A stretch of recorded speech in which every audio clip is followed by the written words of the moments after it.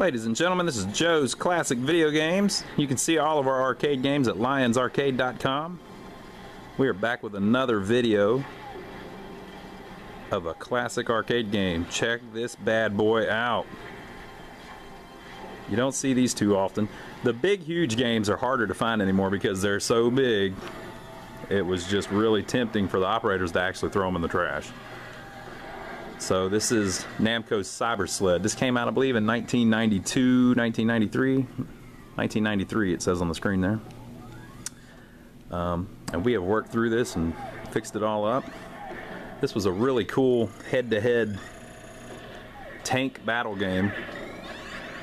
Or they're kind of tanks. I guess they're cyber sleds, right? um, really original game that came out back then with some really cool controls and a really cool cabinet.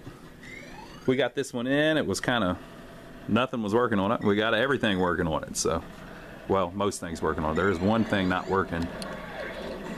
Whoop. That we'll talk about here in a minute.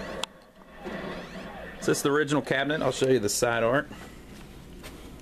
That little board doesn't go on there down there at the bottom. If you find a, another one of these, it won't have that. somebody added that. But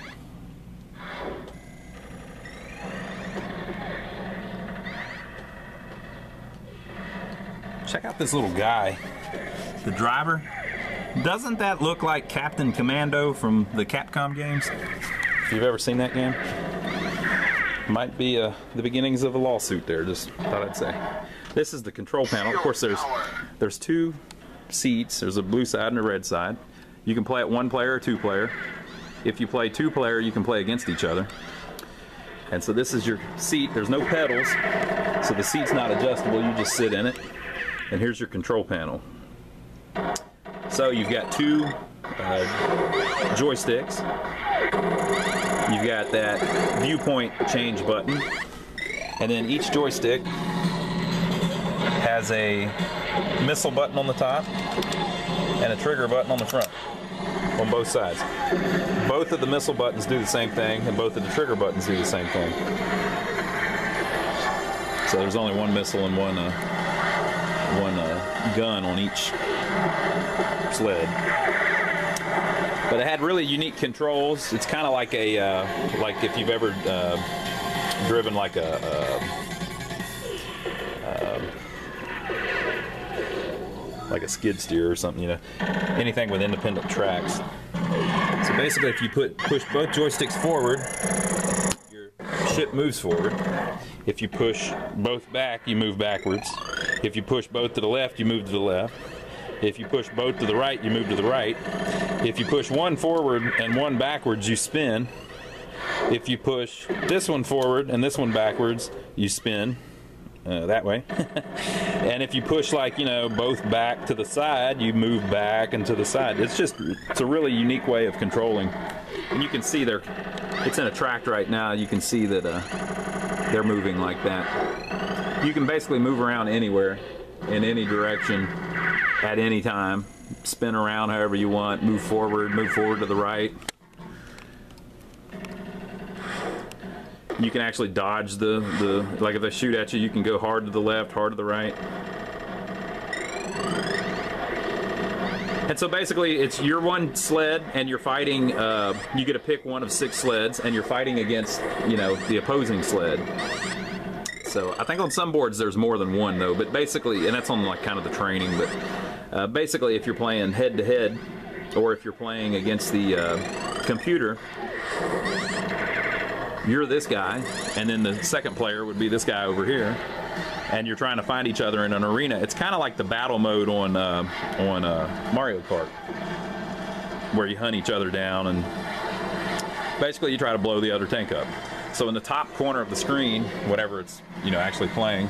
Oh, and by the way, the attract music's on because you can't turn it off. There's no setting to turn off the attract music, so I've got to turn down a little bit. But um, in the top corner of the screen while you're playing, there's a shield. Uh, hopefully they'll show it here, and I can show you that uh, I'm not crazy. Well, here's a little map that shows you. There's a little player shield on the top, and then the enemy shield below it. So you can tell uh, how much damage you've taken and how much damage they've taken. You're trying to blow their tank up by shooting them or hitting them with the missile. And then, you know, you've got this little direction of enemy down at the bottom. It shows special items display. You can get extra missiles or shield power, which gives you extra uh, shield life. But the special items are uh, special shield, or you can jam the enemy's radar or jam the enemy's missiles so that they don't work. You can overheat your guns if you hold them too long.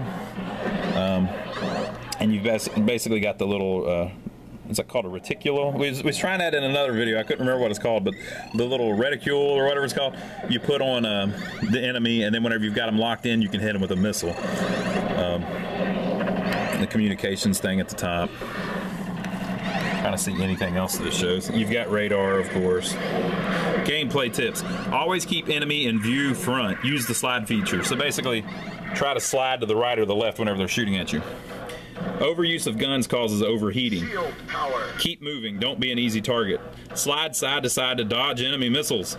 Warning, fighting too close can make you an easy target. So you see this guy's shucking and jiving over here. Check this out. All right.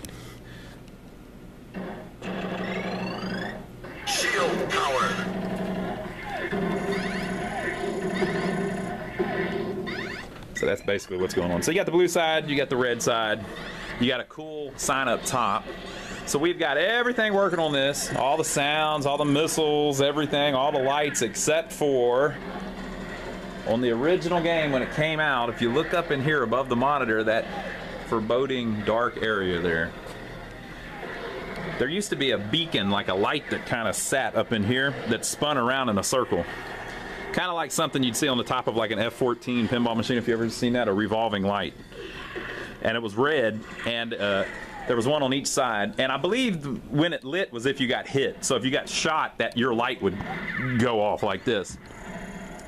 Um, a lot of locations didn't like that feature because it, you know, it's kind of annoying. I think it's cool but you know it's a kind of a lot going on. Um, so they actually removed them from this cabinet. Some of the cabinets have had those removed just because of, you know it was a personal decision of the uh, the location or whatever. If you listen really close.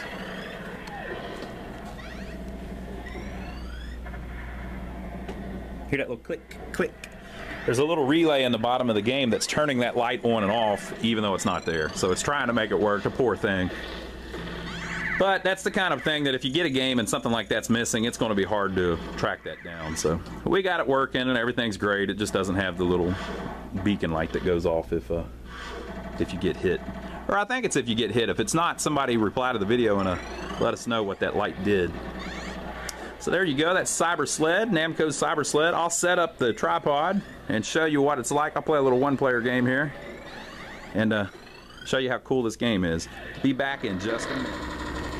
All right, folks, I hope you don't mind the kind of weird angle.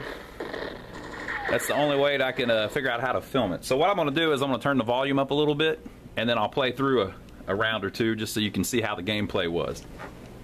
Oh, by the way, this game was also released on the PS1, of course, too. But this is the cool, huge arcade game cabinet.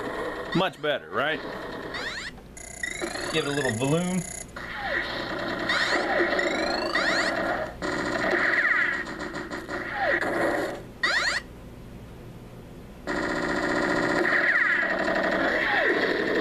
right, here we go.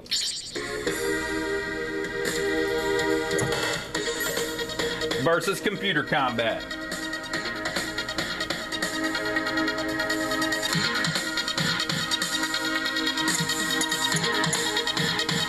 Alan Stryker. Alan Stryker.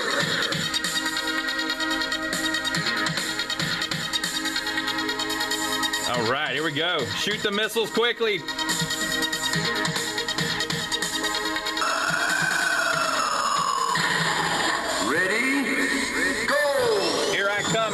Striker so you can see you can spin around like that.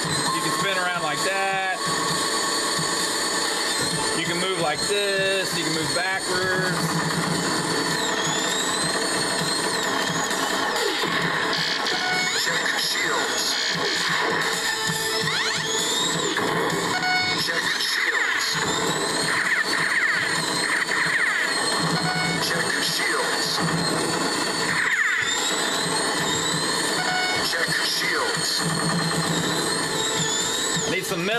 Missiles. There we go. Check shield missiles. Check shields. Shield power.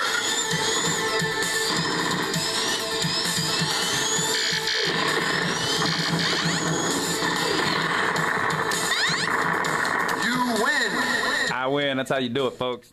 Against the very easiest guy in the game. Right, so this guy's weapon is awesome. It shows like their little stats at the bottom. Slide the vehicle sideways to evade frontal attacks.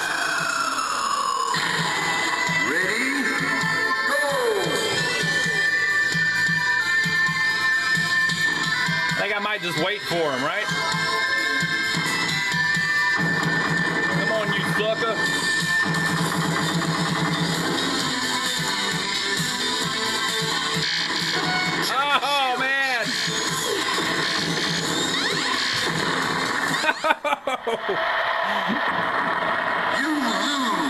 Going head to head with that guy might not have been the smartest idea.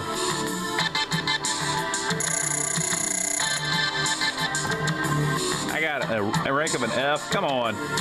Come on. I own the game. I own the game. They can't give me an F. Let's try it one more time.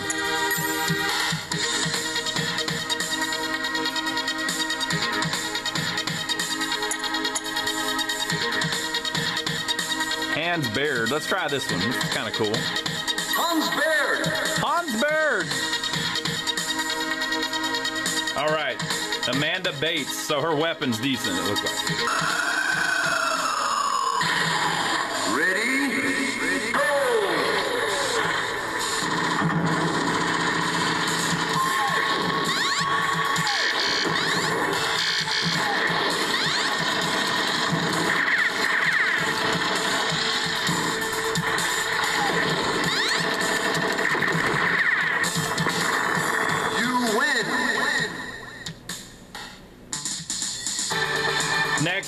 This is the guy that got me last time. Look, his shield sucks, though. Learn how to turn the vehicle. Fighting too close is dangerous. All right. Ready? Go. So trying to wait on the guy did not work well for me last time.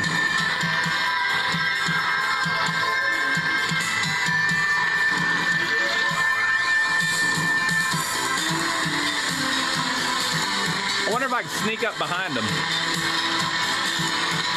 Missiles.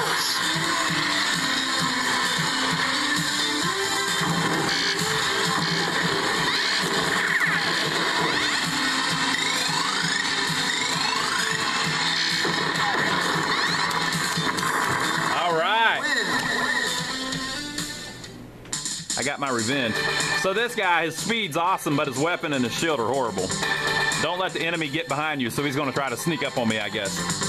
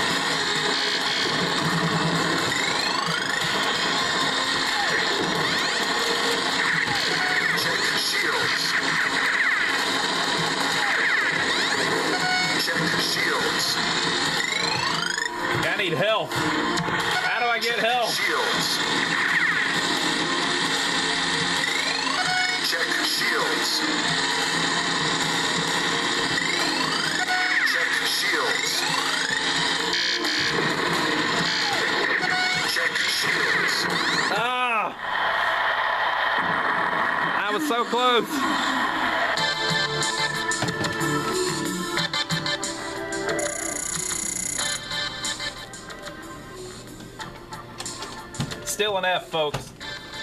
Ah, horrible.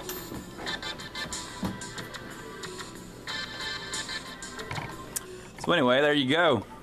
Namco Cyber Sled, really cool game. It was very popular in the arcade for just a little while. I don't know if they ever made a sequel to it or anything. Uh, it had such a unique control that you, you'd think that they would have uh, made a couple other games like that. Maybe they did, and I'm just ignorant of it. But whenever we got this one in, it was real exciting to work on it.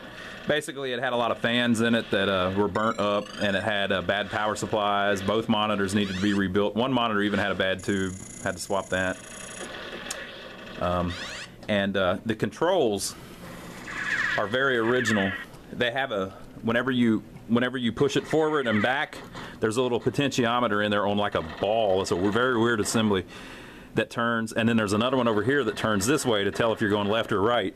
And there's lots of little adjustments and stuff that you have to make to the voltages, and uh, you have to make sure that the pots work right. And uh, there's some settings inside to to adjust it, and blah blah blah blah blah. And so after you mess with it a little bit, you get it going good. So we were able to. Uh, we had to replace one of the pots, but we were able to get it working real. So, so here it is. It's a uh, it's a very large cabinet. Of course, both seats remove and everything's on wheels. So once you remove those seats, you've got this huge back piece. You can take the control panels off so it'll go through a regular door, but those control panels are, it's a big ordeal to take them off. There's a bunch of bolts inside and everything, so um, you're better off just rolling them through like a double wide door if you can help it. But there you go, that's Namco's Cyber Sled. Thought we'd uh, shoot a quick video of it, show you a little gameplay of game over 20 years old, still doing its thing. Um, by the time you see this video, we may not have Cyber Sled in here anymore. It may have already went out to its new home. But maybe we'll have something else that you're interested in. So you can see all the games that we do have in right now at uh, lyonsarcade.com.